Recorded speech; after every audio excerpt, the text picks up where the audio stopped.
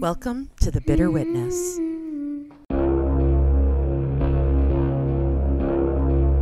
Don't be scared.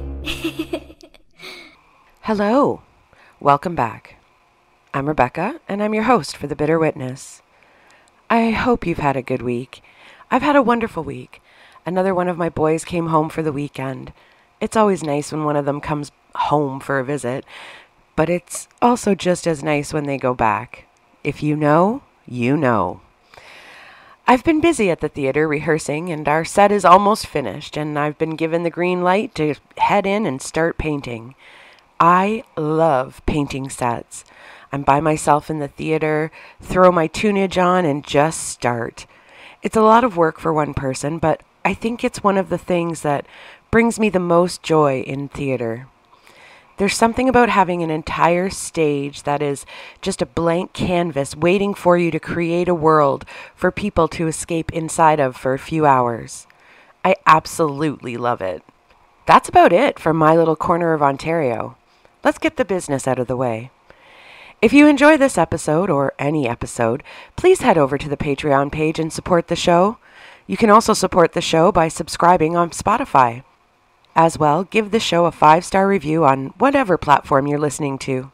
It helps the algorithm, which is something I will never understand.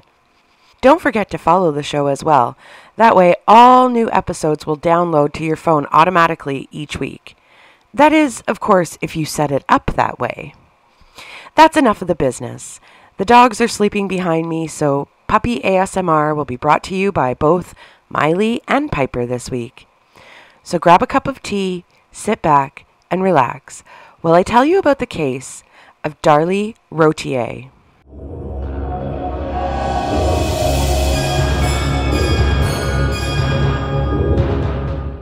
Filicide, the act of a parent killing their own child. This tragic act often stems from a combination of psychological disorders, overwhelming stress, and a perceived inability to cope with the demands of parenting. In many cases, the parents involved may experience a severe mental breakdown, leading them to a state where they believe that the act is a form of altruism, where they are showing mercy or protection for their child from a world in a state of constant upheaval.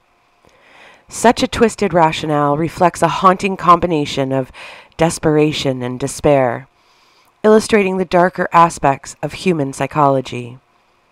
Each instance of filicide is unique and often involves a complex interplay of factors. Society grapples with understanding how someone could cross such a horrific line. According to Texas law enforcement, Darlie Routier crossed that line and coldly murdered two of her three babies. But according to Darlie and her supporters, she herself was a victim of the strange man that broke into the Routier's home that June night in 1996.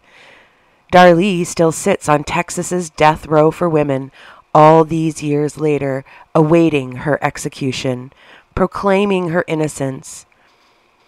Did this former cheerleader murder her two sons? The evidence will be presented today, but you will have to decide for yourself on her innocence or guilt.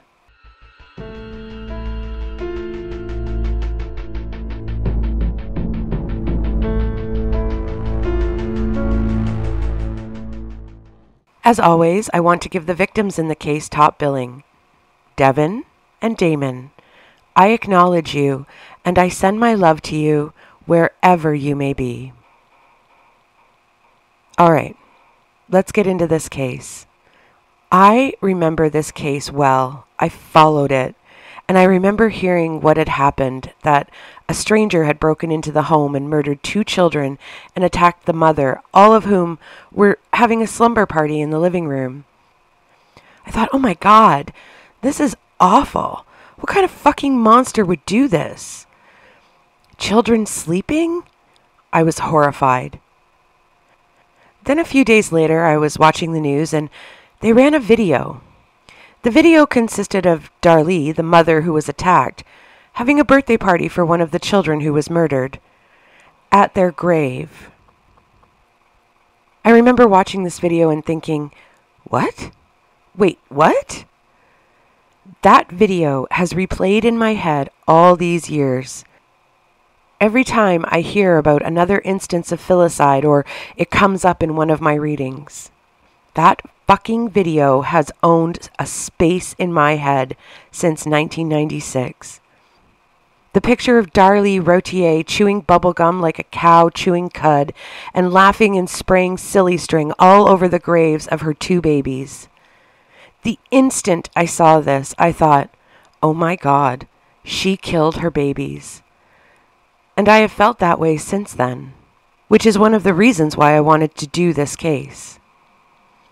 But what the world wasn't shown from that video was the nearly two hour memorial service that was held at the graves of Devin and Damon directly before the birthday celebration. We weren't shown Darlie crying in agony at the loss of her boys during the memorial service. Would that have changed my mind? Maybe. But even knowing that now, I still question how a grieving mother who had just had her babies brutally murdered by a stranger who was still at large could switch her emotions that quickly from heartbreaking grief to laughter in party mode. I don't know if Darlie Routier stabbed her babies that night in June of 1996. If she did, she's a cold, calculating killer of the worst fucking kind. If she didn't, there has been a great injustice, and Darlie has spent the last 28 years sitting on death row in Texas, waiting to be executed.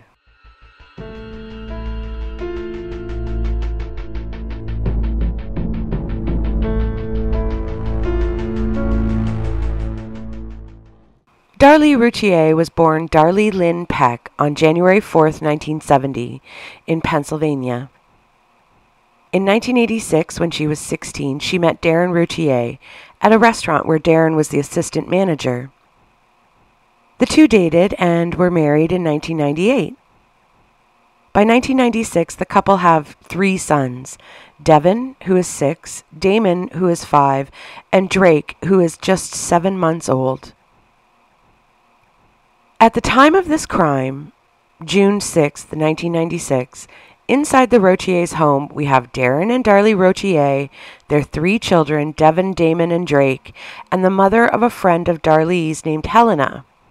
And Helena had been living in the house with the family for approximately two days. And if I'm not mistaken, this woman was a kind of housekeeper or helper for the Routier family. According to the testimony in court, Helen was picked up by her daughter at about 6 p.m. on the evening of June 5, 1996. That night, the two boys, Devin and Damon, had spent the day playing in the hot tub and outside with friends since school had just let out. Damon and Devin wanted to have a slumber party in the living room.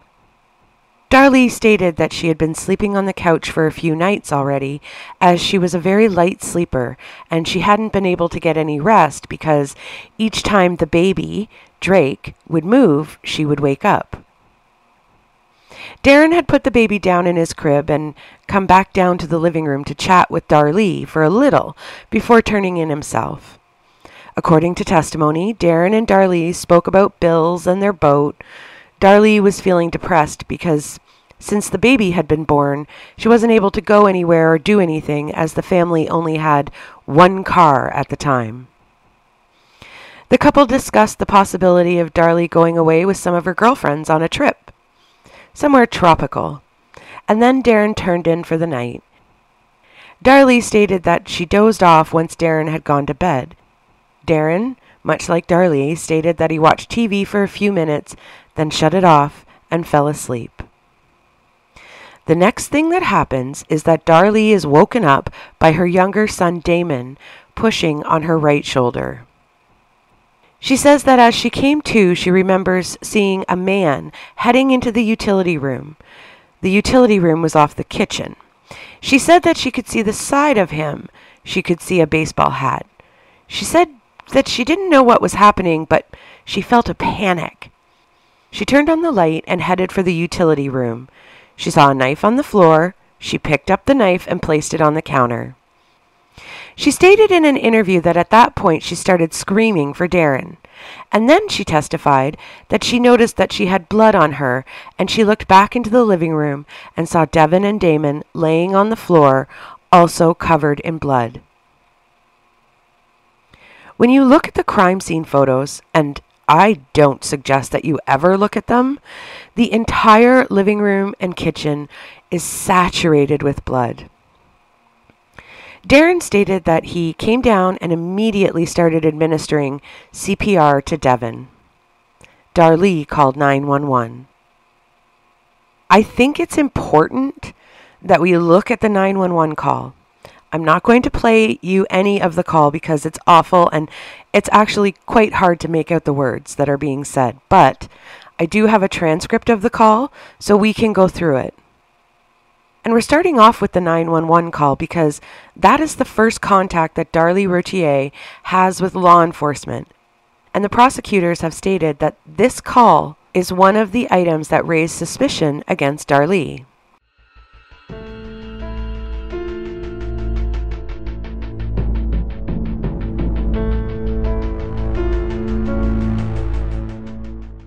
Nine one one, Rowlett nine one one. What is your emergency, Darlie? Somebody came in here. They broke in. 911. Ma'am? Darlie. They just stabbed me and my children. 911. What? Darlie. They stabbed me and my kids, my little boys. 911. Who? Who did? Darlie. My little boy is dying. 911. Hang on, hang on, hang on. Darlie. Hurry. 911. Stand by for medical emergency. Darlie, ma'am? 911. Hang on, ma'am. Darlie, ma'am? 911. Unknown medical emergency 5801 Eagle Drive. Darlie, ma'am. 911. Ma'am, I'm trying to get an ambulance to you. Hang on a minute. Darlie, oh my God, my babies are dying. 911. What's going on, ma'am? Darlie, oh my God, thought he was dead. Oh my God, I don't even know. 911. Attention 901, unknown medical emergency 5801. Darlie, I don't even know. 911. Eagle Drive, Box 238, Cross Route, Linda Vista, North Willowbrook. Attention 901, medical emergency. Darlie, who was breathing? Are they still lying there? 911. Maybe, possibly stabbing 5801 Eagle Drive, Box 238, Cross Street, Linda Vista N, Willowbrook. Darlie, oh my God, what do we do? 911, time out 232. Darlie, oh my God, oh my God. 911, need units going towards 5801 Eagle Drive, 5801 Eagle Drive. Darlie, oh my God, my baby's dead. Damon, hold on, honey. 911, hysterical female on the phone says her child has been stabbed. Darlie, I saw them, Darren. Oh my God, came in here. 911, ma'am, I need you to calm down and talk to me. Darlie, okay, didn't you get my address? 911, 5801 Eagle. Darlie, yes, we need help. Darren, I don't know who it was. We gotta find who it was. 911, ma'am, ma'am, listen, listen to me. Darlie, yes, yes, oh my God, oh my God. 911, ma'am, Darlie, yes. 911, I need you to, I need you to talk to me. Darlie, what? What? What? My babies are dead. Do you, do you want honey? Hold on. 911. Ma'am, I can't understand you. Darlie, yes. 911. You're going to have to slow down, calm down, and talk to me. Darlie, I'm talking to my babies. They're dying. 911. What is going on? Darlie, somebody came in while I was sleeping. Me and my little boys were sleeping downstairs. Some man came in, stabbed my babies, stabbed me. I woke up. I was fighting. He ran out through the garage. They threw the knife down. My babies are dying. They're dead. Oh my God. 911. Okay. Stay on the phone with me. Darlie. Oh my God. 911. What happened? Darlie. Hold on, honey. Hold on. 911. Who was on? It was the white phone. Darlie. Hold on. 911. They are wondering when we need to dispatch, so I sent a double team. Darlie. Oh my God. Oh my God. 911. Okay, thanks. Darlie. Oh my God, oh my God. 911. Ma'am, who's there with you? Darlie. Karen. Karen is a neighbor of Darlie and Darren's. 911. Ma'am? Darlie. What? 911. Is there anyone in the house besides you and your children? Darlie, no, my husband, he just ran downstairs. He's helping me, but they're dying. Oh my God, they're dead. 911. Okay, okay. How many little boys? Is it two little boys? Darlie, there's two of them. There's two. 911. What's the cross street on the address on Eagle? Darlie, oh my God, who would do this? 911. Listen to me. Calm down. Darlie, I feel really bad. I think I'm dying. When are they going to be here? 911, 5801 Eagle Drive, 5801 Eagle Drive. Darlie, when are they going to be here? 911, going to be a stabbing. Darlie, when are they going to be here? 911, ma'am, they're on their way. Darlie, I just got to sit here forever. Oh my God, who would do this? Who would do this? 911, ma'am, how old are your boys? Darlie, what? 911, how old are your boys? Darlie, seven and five. 911, okay. Darlie, oh my God, oh my God, oh, he's dead. 911, calm down. Can you, Darlie? Oh God, Devin, no, oh my God. 911, is your name Darlie? Darlie, yes. 911, this is her. Is your husband's name Darren? Darlie, yes, please hurry, they're taking forever. 911, there's nobody in your house. There was, was, you don't who did this? At this point, there is a police officer on the scene, and you can hear him say, Look for a rag. Darlie, they killed our babies. Police officer, lie down, okay? Just sit down. Darlie, no, no, he ran out, uh, uh, they ran out through the garage. I was sleeping. My baby's over here, already cut. Can I? Phone is right here. Y'all, look out in the garage. Look out in the garage. They left a knife lying on. 911. There's a knife? Don't touch anything. Darlie, I already touched it and picked it up. 911. Who's out there? Is anybody out there? Darlie, I don't know. I was sleeping. 911. Okay, ma'am, listen. There's a police officer at your front door. Is your front door unlocked? Darlie, yes, ma'am, but where's the ambulance? 911. Okay. Darlie. They're barely breathing. If they don't get it here, they're going to be dead. Oh my God, they're. Hurry, please, hurry. 911. Okay, they're, they're. Police officer. What about you? 911. Is 82 out on Eagle? Darlie. Huh? They took, they ran. We're at Eagle, 5801 Eagle. My God, hurry. 911. 82. Are you out? Police officer. Nothing's gone, Mrs. Routier. Darlie, oh my God, oh my God, why would they do this? Police officer, the problem, Mrs. Routier. 911, what he say? Darlie, why would they do this? I'm 911. Okay, listen, ma'am. Need to need to let the officers in the front door. Darlie, what? 911. Okay, ma'am? Darlie, what? What? 911. Need to let the police officers in the front door. Darlie. His knife was lying over there. I already picked it up. 911. Okay, it's all right. It's okay. Darlie. God, I bet if we could have gotten the prints, maybe, maybe. 911. Ma'am, hang on. Hang on a second. Darlie. Somebody who did it intentionally walked in here and did it. Darren, there's nothing touched. 911. Okay, ma'am. Darlie, there's nothing touched. Oh my God. 911. Ma'am, is the police officer there? Darlie, yes. 911. Okay. Go talk to him, okay?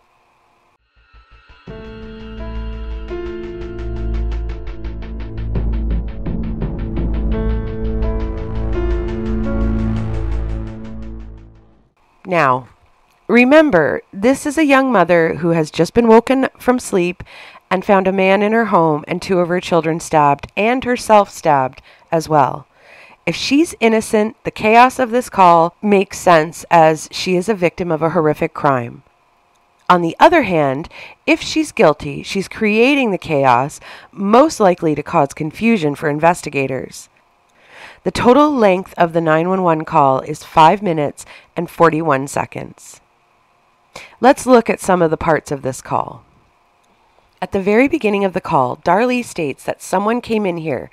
They broke in. They stabbed me and my children.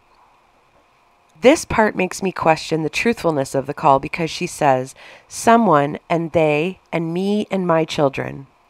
Someone. Why wouldn't she say a man? It's not such a big deal. I say that sometimes, but the me and my children statement, her priority is on herself here. Normally, when someone calls 911, you, you tell the operator the worst thing first. Think about it. When you hear a 911 call and someone has been shot, the person calling usually says, Someone's been shot, we need help. They don't state the minor issues first, like, Someone came in here and someone's been shot, we need help. It's very slight, but it's there. If you are this hysterical over your children being stabbed, would you start with someone came into my house, they broke in? Or would you start with my babies have been stabbed? It's just food for thought. Then the 911 operator asked Darlie who did it. Who did this? Darlie doesn't answer the question at all. She completely ignores the question. And she doesn't ask for help for an ambulance at all. Now, to be fair, she is hysterical and she might have assumed that the operator would know that she needed an ambulance. Then she says, My little boy is dying. But she's only referring to one boy. Why? What does she think is going on with the other boy? Right after that, she states that her babies are dying. The use of singular and then plural is weird, and she does it over and over again throughout the call. I'm not saying that this flipping back and forth from singular to plural makes her guilty or innocent. It just makes me question her behavior and it makes me look at the call a little deeper. She also does another kind of flipping, which is a little odd for me. She says, you know, they're dying, and then two seconds later she says, oh my God, they're dead. Or he's dead and he's dying. It's not evidence of guilt or innocence, it's just weird. Something I noticed throughout the entire call every time there is a question asked of Darlie, she goes into hysterics and repeats over and over, Oh my God, oh my God, oh my God. Now, you could look at this both ways. If she's innocent, she's obviously in shock. If she's guilty, she's avoiding having to give any information to the operator by going into hysterics. At one point in the phone call, Darlie states to the 911 operator that she was fighting. The inference from this is that she was fighting with the killer. But then, when Darlie later gives her statements to the police, she states that she didn't get a good look at the man who killed her babies. But if you were fighting with him, how could you not see him? That part seems a little odd, but in court, Darlie and her defense team state that Darlie actually stated that she was frightened, not that she was fighting. I have listened to this part of the 911 call a thousand times. I personally lean towards the word fighting, but you could make an argument that she used the word frightened. But personally, I don't hear it. You can decide for yourself if you choose to listen to the call. It's not a pleasant call, though, so do so at your own risk. Then she finally asks for help in the call. But at the moment before she asks for help in the call, she had just told the operator that her babies are dead. But if her children are dead, then there's really no need for help, right?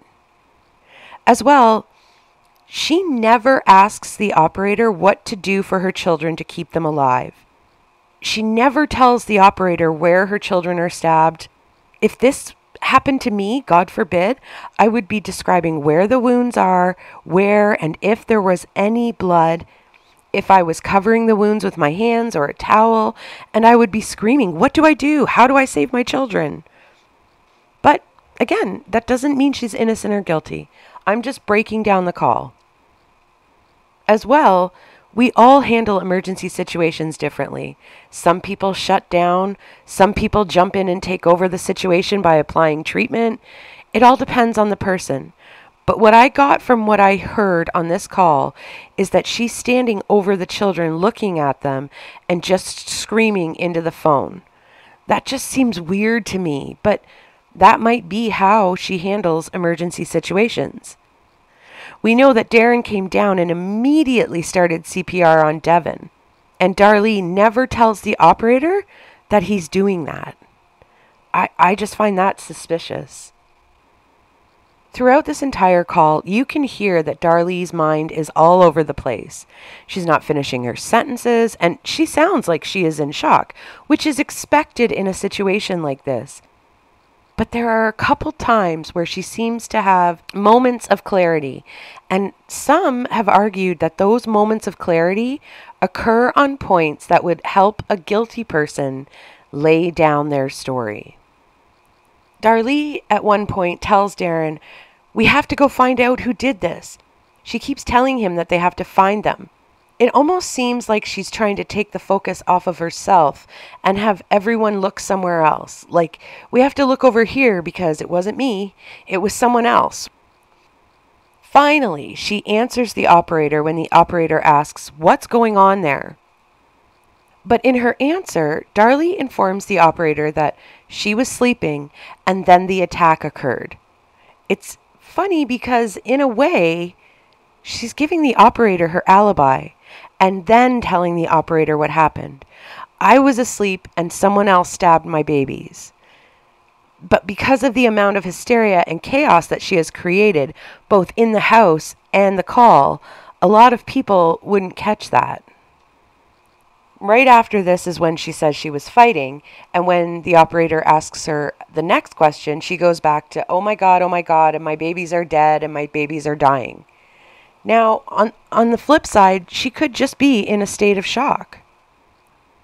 Another thing that she does throughout the entire call is she takes the pitch of her voice up into the stratosphere when she is screaming, Oh my God, and my babies are dead a lot of times when someone is lying, their voice will go into a higher pitch. You know, like, no, I didn't steal the cookies. And she does it all through this call. She asks three times, when are they going to get here? Which is totally normal for someone in a horrific situation to do. But then, just under her breath, and you can barely hear it, but she says, I gotta just sit here forever. Oh my God. When I heard this sentence, it made me think that Darlie was wanting the call to be over. Like she wants this part to end. She keeps slipping off of her script that she's rehearsed and she's too stressed out. But remember, this is just my opinion, and you might think it sounds totally normal for a mother to say this, and there is a good argument both ways. But to me, it sounds like she had a script in her mind and it isn't playing out the way she thought it was. And she's become so stressed that she just wants this call to end like, oh, I got to stay here forever. The next part of the call is really interesting to me. The operator is asking her questions, and she answers some of them, but some of them she answers with hysteria, and her voice goes into a really high pitched wail. But then she says, he came in here. But she corrects that pronoun and says, they came in here. And then she gives her alibi again by saying, I was sleeping. These things aren't really evidence against her. We'll get into that in a bit, but these things in the call just make me wonder, and I can see how the law enforcement was suspicious. Next, she says, My babies are over there already cut that is a really, really weird way to say that your babies have just been stabbed. I have never heard anyone say that about their child being stabbed. They've been cut. Next, she says, Look in the garage, look in the garage. She's sending the police officer that's arrived and Darren through the blood splatter and getting them away from looking at her. It's like she's saying, It's not me, it's the person out there. And by sending them through the blood splatter, they're going to contaminate the crime scene. Then she says, They threw the knife down over there. Threw the knife down? Okay. One, how do you know that? Did you see them throw the knife?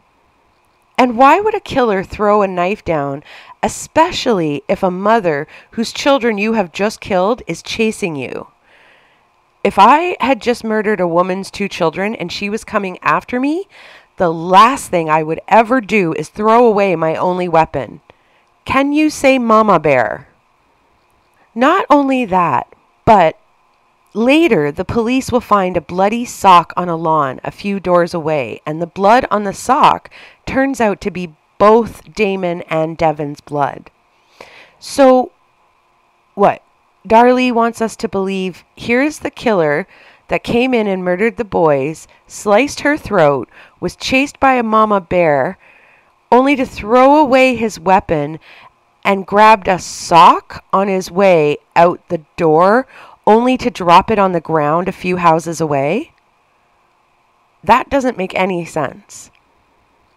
The next point why would a killer in this situation leave the biggest threat alive, which in this case is Darlie? If you're going to kill people inside a house, why wouldn't you have started with Darlie and gotten the biggest threat out of the way? Why would you viciously stab the two little boys? And the wounds were very, very deep, which we'll talk about later on. But why were the boys' wounds so deep and Darlie's weren't severe enough for her to even notice at first. It just doesn't make sense to me. The language she uses throughout the call seriously raises questions. None of this makes sense. The things that Darlie wants us to believe, it, it just doesn't fit. So she once again offers her alibi she was sleeping, and then she says directly after that she picked up the knife. Here, she's offering an explanation for why her fingerprints are going to be on the knife in blood. How convenient is this? An alibi and prints on the murder weapon? All that explain away why Darlie didn't hear anything or kill her two babies, literally inches away from her head. Then comes the most damning thing against Darlie during the 911 call. She says, the knife was laying over there, and I already picked it up. God, I bet if we could have gotten the prints, maybe, maybe. Earlier in the call, she inserted the fact that there was a knife laying on the ground when she is directing the police officer to go to the garage, as that was the route of escape of the assailant. But then the 911 operator diverts attention away from the knife and tells her to go open the door for officers who are on the front porch. And Darlie goes back to saying, Oh my God, they're dead. Then a few lines later, Darlie comes back to the knife and makes a statement about the prints. Wait, what? Maybe we could have gotten prints? So the killer wasn't wearing gloves? Even OJ wore gloves. How does she know that there might have been prints on that knife? Why would her mind go right to getting the prints? maybe today in 2024, I would say this would be a more likely statement for someone to make as true crime has reached an all time high and there is so much general knowledge about the actual science of fingerprinting. But in 1996, no one was talking about lifting fingerprints. People were still watching ER Friends and Seinfeld the internet was still in its infancy, and most people didn't even have a home computer at this point. I know I didn't. I don't think I got a computer in the house with internet until, God, I would say just before my fourth son was born, and that was 2002. There weren't even that many websites in 1996. According to Google, there were only about 100,000 websites, and of those, there were probably only a handful that would be able to give you the insight into fingerprinting, if any. You know, Patterson and I were just talking about this the other day. Back then, we all believed that the internet was actually one giant cable that ran along the ocean floor connecting all the countries, and that the information would be sent along these cables like telephone lines, and that there was a giant plug in somewhere in every country in the world. Oh, the 90s. That's most of what I found strange in the 911 call. And again, none of it is really evidence. It just raises your suspicion, raises questions. So now we're going to look at some of the evidence at the crime scene.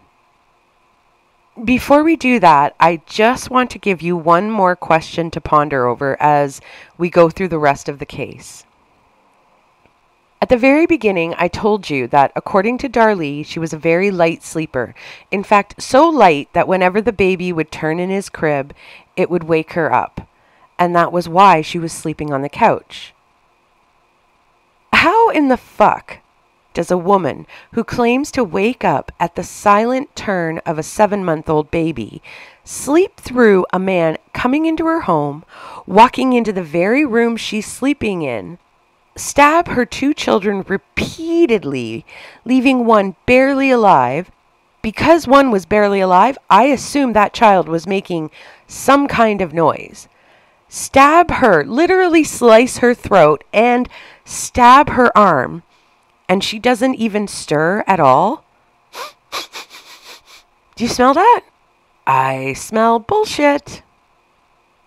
Now, on the flip side, I will say that I am a terrible sleeper, and many things wake me up all the time throughout the night.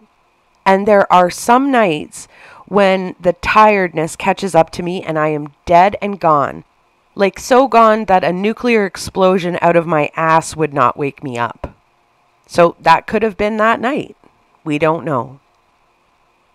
I think that if your babies are screaming in pain because they are being murdered literally inches from your face, you might wake up. There was a news article once that I read that was talking about a new type of smoke detector that used the voices of the parents to wake up children in the case of a fire because research found that many people will sleep through a beep, but they will recognize family voices while they're in deep sleep. And I believe, and you might not, and that's okay, but I feel that if I heard my children crying out or screaming in pain from being murdered only a few inches from my face, that I would at the very least open an eye. Something for you to ponder. Let's look at some of the evidence that was found at the crime scene. Law enforcement states that the killer gained entry into the house by way of an open window in the backyard. The screen had been cut in a T shape. Then they claim that the screen was cut with a bread knife that was found in the Routier's knife block in the kitchen. Police state that they found fibers that are consistent with the material of the screen inside the knife block. Okay, wait a damn minute. How did the killer use a knife from inside the house to gain entry into the house and then he put the knife back in the knife block? Okay. When you look at the crime scene photo of the screen, it doesn't look like anyone climbed through it. The cut is actually perfect. The screen isn't stretched or pulled out of the track at all. The horizontal cut or the top of the T, if you like, was at the top of the window, and then you see a vertical cut right down the middle. It's not a big window. Any adult would have pulled that screen right out of the tracks had they climbed through it. Or at the very least, there would have been rounding on the sides of the screen where they went through. If you ask my opinion, I would say that someone just cut that screen and never actually went through it. Next there was a broken wine glass found on the floor of the kitchen, and a vacuum cleaner that looked like it had been thrown in a struggle, and it had landed on a mat in the kitchen by the sink. Darlie's bloody footprints were found under the broken glass and under the vacuum cleaner as well, meaning her foot touched the floor before either the glass or the vacuum cleaner were placed there. They also found a lot of blood in the kitchen sink and down the drain. They found blood with water down the drain, meaning someone had ran water in the sink to get some of the blood to go down the drain. And they found indications of cleanup around the sink. The blood had been wiped with something like a cloth, like someone was trying to clean up the counter around the sink. The shirt that Darlie was wearing that night during the attack had drops of blood on the back of it. And those drops of blood were determined to be from both Devin and Damon. The prosecution brought in a blood splatter expert who testified that they felt that those drops were indicative of cast off from a bloody knife that was in the process of being brought down over somebody's head. Meaning the drops of blood happened when Darlie was holding the knife above her head and bringing it down into her son's. I've seen the crime scene photos of the blood droplets on the back of Darlie's shirt. Both have small tails on them. And those tails would have been in the downward direction if the shirt was on Darlie at the time and she was in an upright position. So think of gravity. If you hold something above your head that is dripping with a liquid, think about where and how the liquid would run off of the item you're holding and how it would fall onto your shirt. It wouldn't plop in a neat, perfect circle. It would be cast off from the knife and be in motion as it landed, which is what would cause the small tail to be seen on the t shirt. The next piece of evidence that the police used was a comparison of the degree of the wounds on Devin and Damon and the wounds on Darlie. Devin's autopsy states that he had four significant sharp force injuries on his body. The first wound punctured his lung and the pulmonary artery. This stab wound is five inches deep. To give you some context, five inches is about 13 centimeters. Think of a normal standard sized paper clip. That's about an inch long. So if you were to line up five paper clips, that would be about equal to the depth of this wound. And this stab wound is described as front to back, meaning that the knife entered his body from the front. So whoever did this was standing, well, they would have to be kneeling, kneeling, probably straddling the body. The second stab wound was also in his chest, and this wound perforated his liver and was about two and a half inches long. This wound was also front to back. The third wound was on his left forearm, about three inches above the wrist, and this wound is about an eighth of an inch deep, probably a defensive wound. He probably was holding his arm up. The fourth stab wound was found on his thigh and was about an inch deep. Looking at Damon's autopsy, there are about four stab wounds altogether.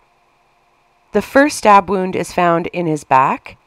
The wound is approximately two inches deep and penetrates the left lung. Now, you may think two inches isn't that deep, but don't forget, this wound is on a very small child.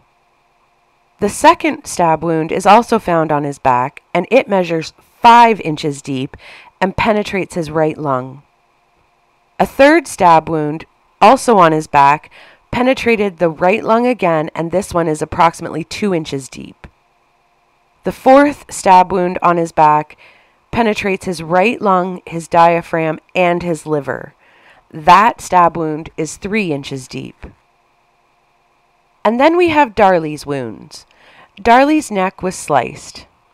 The doctors testified that this wound was considered superficial then, during the same testimony, they stated that the wound was two millimeters from slicing her carotid artery in her neck, which would have most likely killed her. And she did have to go undergo surgery when she arrived at the hospital.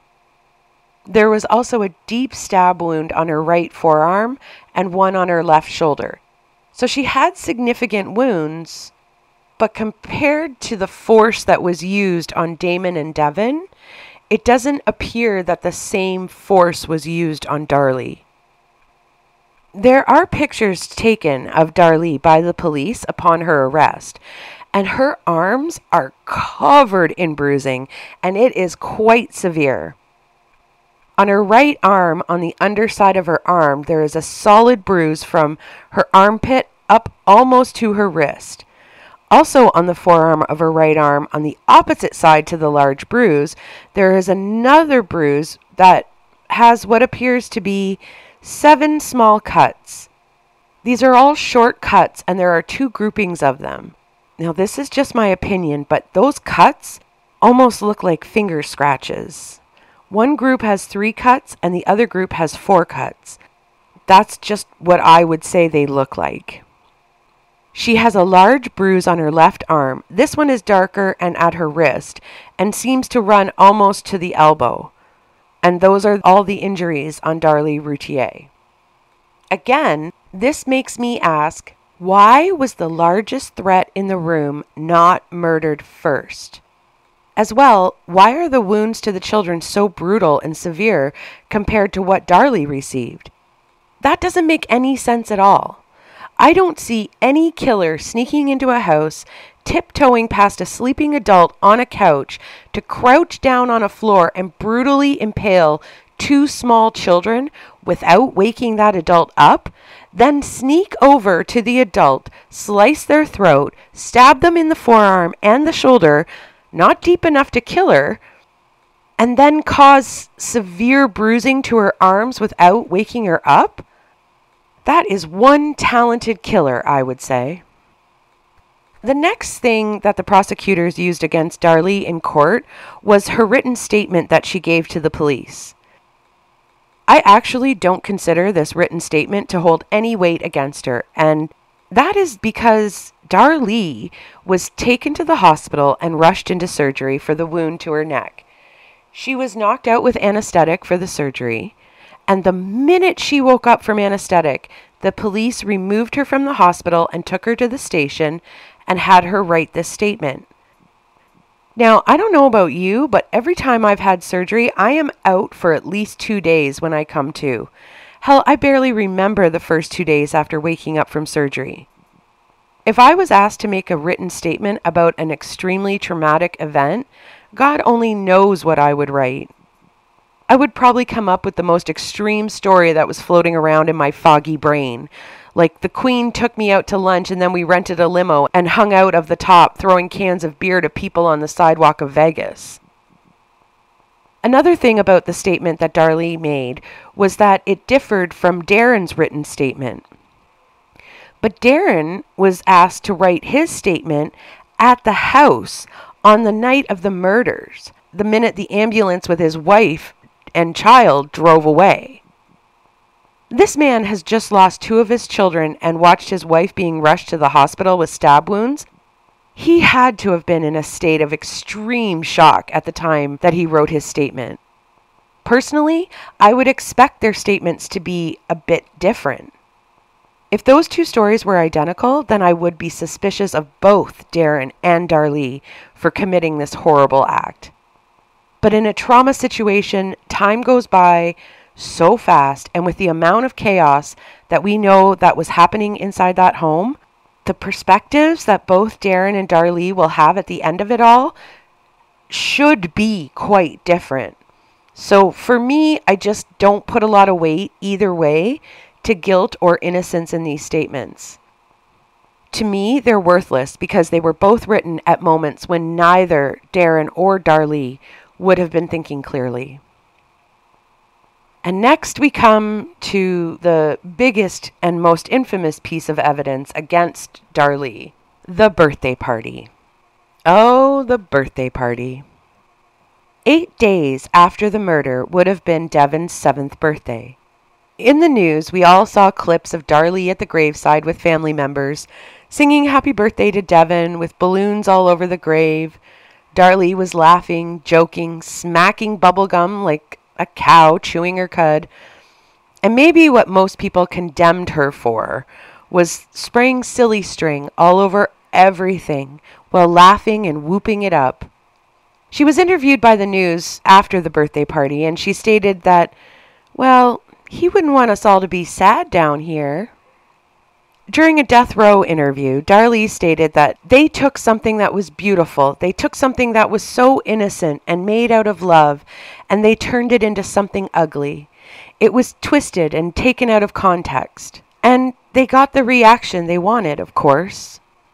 Darlie states there is not a book that tells you how to do this, how to grieve, how to handle a situation like this. We gave him the party he didn't get to have and everything that we did was out of love. This is something no parent should ever have to do. No parent should have to bury their child. I don't know. Eight days after my child's been murdered, I don't think I would be doing any of those things. I might take a balloon to the grave and I might sing happy birthday very quietly while on the ground crying. But I don't think I would be smacking bubblegum like that, running around, spraying silly string on everybody near me. The jury in this case only saw the birthday party. They were never shown the two hour heartfelt memorial that occurred directly before the birthday party. One juror actually said if he had seen that memorial, they might not have convicted Darlie.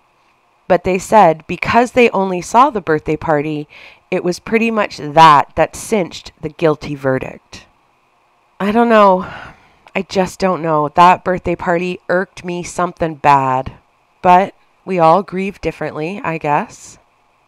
Now, let's look at motive. Why would Darlie want to kill her children? They didn't have large life insurance policies on any of the children. Each child was insured for $5,000. However, there was a large life insurance policy on Darlie for about $250,000. So, motive. Why would she want to kill her children? Well, she could have snapped and gone psychotic. I don't think so. She didn't sound psychotic on the phone. Not that I really know what psychotic sounds like, but to me, that wasn't the voice of a psychotic woman on the phone. But at the time of the murder, the Routiers were having some financial problems. They were two months behind on their mortgage, and Darlie was not happy. This is a diary entry from Darlie's journal on October 1st, 1995, approximately eight months before the murders. Time is getting near. Soon we will have another wonderful son. I feel him growing, and he is getting so big. I have not been well for about a week now. Everything hurts, and I can't seem to get over it. It's not fair to Darren and the boys, but nothing I do makes me feel any better. I really love Darren with all my heart, but sometimes I feel like I'm missing something. I don't know what it could be. I'm sure I have everything every woman could wish for. Maybe it's the excitement, things I used to do when I was younger, the thrill of not knowing, just doing whatever came up. I know I have a lot of responsibilities, but a little craziness once in a while sure wouldn't hurt. I want to grow old with Darren, but I don't want to feel as though a part of me has to die to do it. I am young and I want to feel it. Time goes too quickly not to enjoy each moment. By May 3rd of 1996, Darlie is writing in her journal her thoughts of suicide. She states that she is thinking about taking a bottle of sleeping pills and ending her life. According to her testimony, Darlie said she stopped writing and called Darren right away. She told him that she was thinking of taking the pills and that she was tired of crying. Darren left work and came home right away, and the two of them had a good cry together. The next day, before Darren left for work, he told her to call him if she started feeling that way again, and she promised him she would. Then Darlie stated in her testimony that soon after this episode, she got her first menstrual cycle since being pregnant and started feeling better. So she and Darren chalked the suicide talk up to her hormones being out of whack from the pregnancy. According to Darlie, she never had a mental illness, and she states in an interview that you can't have a mental illness, snap, commit murder, and then snap back to normal. That's that's not plausible, she said. To me, it sounds as if she's suffering from some postpartum depression and she's not happy because the money has dried up and the fancy lifestyle that she's used to isn't happening. In her interview from Death Row, Darlie states that people need to think about what is being said about her, that it does not fit. She states in the interview that motherhood was not something she had to do, it was something she loved to do. She states, Devin and Damon were my heart. They were what made me happy. I am convicted, but I am not a murderer. I did not murder my children. According to her appellate lawyer, Stephen Cooper, Darlie did not get a fair trial, and he absolutely believes that Darlie did not murder her children. Cooper has been working on Darlie's appeals for free since 1997. He states that the state used junk science, that it was ridiculous that someone would take their left hand and slice their neck when they are right handed, just to stage an injury.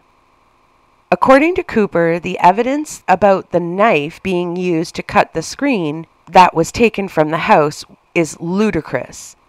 He stated that the match of the fibers in the knife block to the fibers from the screen was not done scientifically. It was, in fact, just a visual comparison. He also states that Darlie's original defense team did no DNA testing of anything during the original trial. And recently it has come to light that a fingerprint was found in the Routier home on the night of the murder. And that print did not belong to Darlie or anyone else who was at the crime scene that night. The timeline, according to Cooper, does not allow Darlie enough time to commit the murders and stage the scene.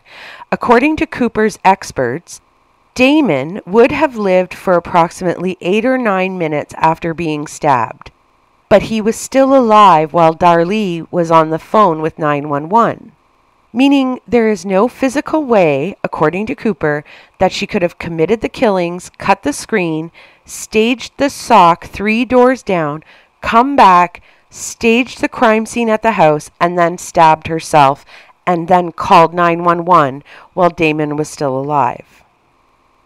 When asked what he thinks happened that night, Cooper states that his team has evidence that Darren, Darlie's husband, was trying to solicit people to come and burglarize the house for an insurance job. Cooper states that Darren was never investigated because law enforcement had tunnel vision on Darley that started about five minutes after arriving at the scene, and so they just ignored Darren completely.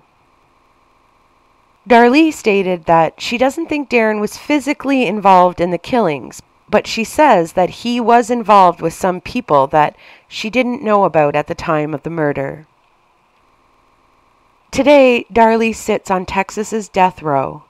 She gets up every morning about 4:30 and does her devotions, gets ready to go into work at the prison. She states that it's important to keep her mind busy, so her work helps with that. The inmates have a garden in the prison, and Darlie loves spending time in the garden. She says it's wonderful to see the things that you plant grow, to nurture something. Darlie and Darren got divorced in 2011, and since then, Darlie has found a new relationship with a man, coincidentally also named Darren. I'm going to call him Darren too. Darren, too, wrote a letter to Darlie asking what he could do to help her prove her innocence, which in turn initiated the relationship.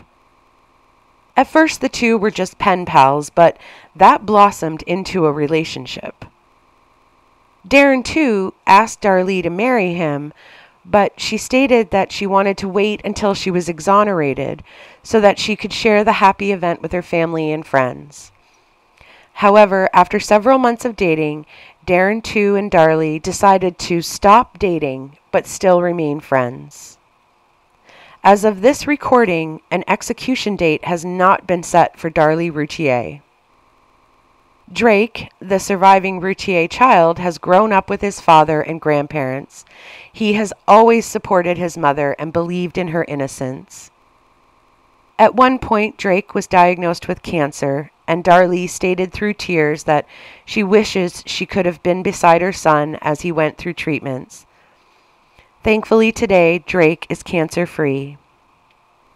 Darlie Routier has been offered a deal by prosecutors since her conviction. If she were to plead guilty to the murders of Devin and Damon, they would take her off death row and allow her to spend the rest of her life behind bars. Darlie has refused this offer, stating that she is innocent and will continue to claim her innocence until there is justice for her sons. She states that if they choose to kill her, They will have to answer for that, that that will be her innocent blood on their hands.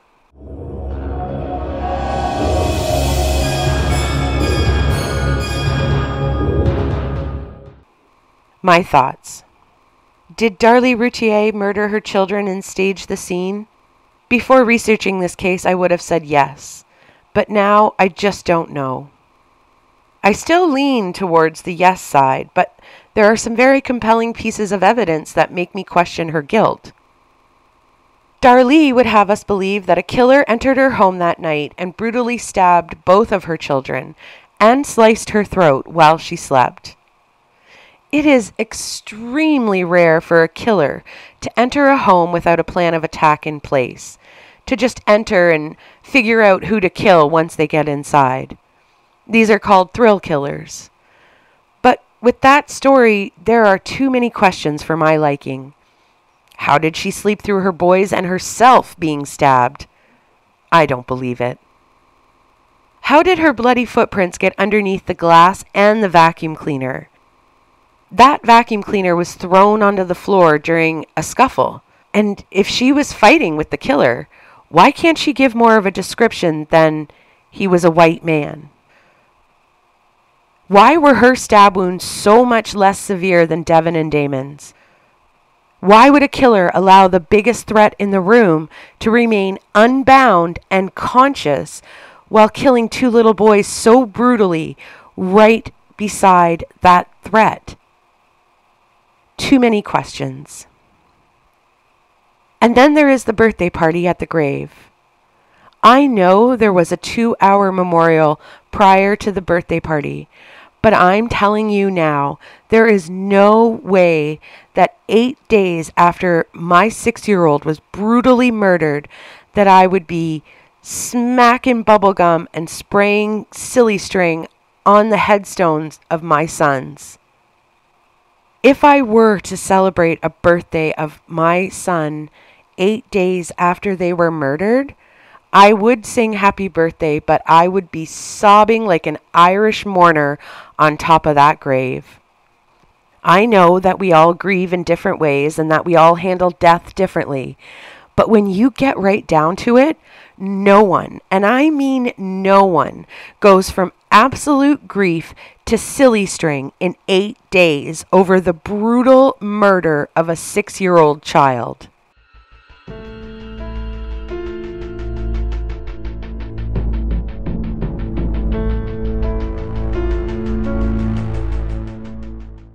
I guess time will tell us if Darlie is innocent or guilty. Hopefully, her lawyer is able to get a new trial and have the evidence tested now that science has advanced enough. Because at the end of the day, two little boys lost out on their lives. And if it wasn't Darlie Routier who committed this horrific, tragic crime, then the real killer is free, which means there has been no justice for Devon and Damon. I want justice for Devon and Damon, but I want honest justice. If it's not Darlie, then she has been served an injustice as well. But I want to see the person who did this punished. There is testing that is being done currently in this case, and hopefully soon there may be some more answers.